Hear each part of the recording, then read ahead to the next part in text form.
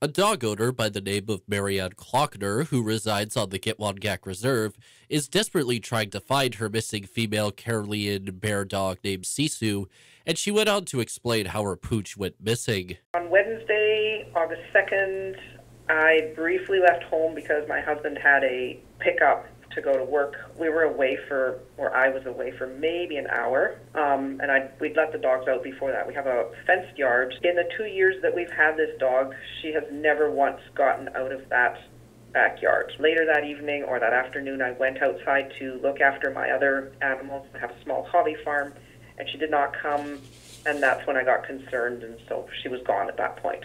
Klockner and her husband then began their search for Sisu, but ended up finding a rather strange sight on a nearby highway when they discovered the dog's collar on the ground completely intact.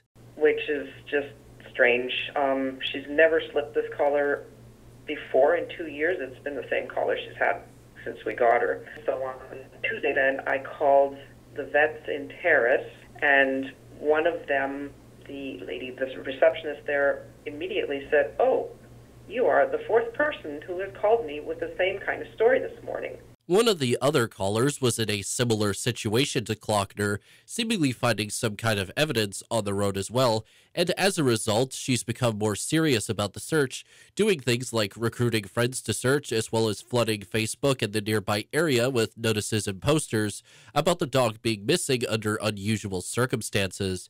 Klockner seems to believe that there is a possibility that someone could have potentially stolen her dog, but does not have any concrete evidence of anyone doing anything.